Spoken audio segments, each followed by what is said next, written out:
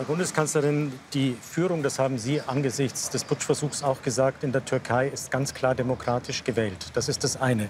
Auf der anderen Seite haben kurdische Abgeordnete ihre Immunität verloren. Tausende Bedienstete des Staates wurden inhaftiert. Von Pressefreiheit keine Spur.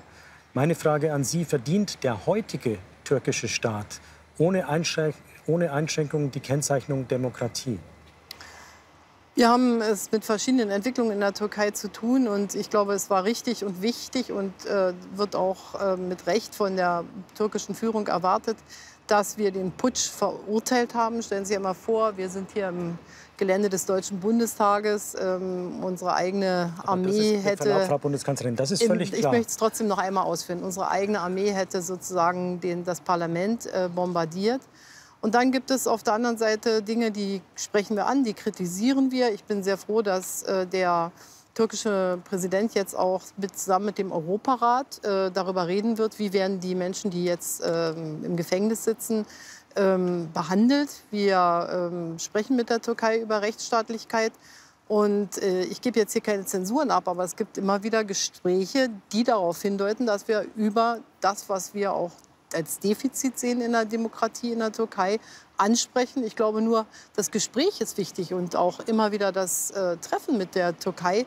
Wenn man nicht äh, miteinander spricht, sondern immer übereinander spricht, dann führt das in allermeisten Fällen in der Diplomatie zu keinen besonders guten Ergebnissen. Sie haben sehr geschickt jetzt die Frage, ob Demokratie oder nicht, umgangen. Aber ich würde auf eine andere äh, Frage gerne kommen. Sie hatten von den äh, türkischstämmigen Mitbürgerinnen und ähm, Mitbürgern in Deutschland äh, ein hohes Maß an Loyalität zu diesem Land erwartet. Seitdem rätseln viele, wo sehen Sie das Defizit und wie sollten die Deutsch-Türken diese Loyalität denn zeigen zu diesem Land?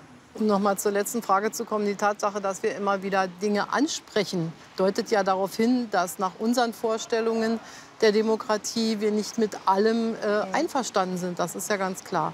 Was die Loyalität anbelangt, derer, die mit türkischen Wurzeln schon sehr lange hier leben, geht es mir erstens darum, dass äh, die Konflikte, die es in der Türkei gibt, nicht ähm, vorrangig jetzt nach Deutschland getragen werden, sondern dass äh, diejenigen, die viele Jahre schon hier leben, vielleicht auch die deutsche Staatsbürgerschaft haben, sich in die Entwicklung unseres Landes mit einbringen. Auch ähm, wenn Sie es äh, möchten, sind Sie dazu jedenfalls herzlich willkommen. Ich kann niemanden äh, verpflichten, äh, wie ich auch keinen, der schon äh, über viele Generationen in Deutschland lebt, sich mit einbringen, sich verpflichten kann, sich mit einzubringen. Und ich sage immer wieder, ich bin auch deren Bundeskanzlerin. Und das Bekenntnis, finde ich, ist äh, wichtig. Und wenn das auch erwidert wird durch Engagement für unser Land und nicht durch das Hereintragen von Konflikten aus der Türkei nach Deutschland, dann ist das gut.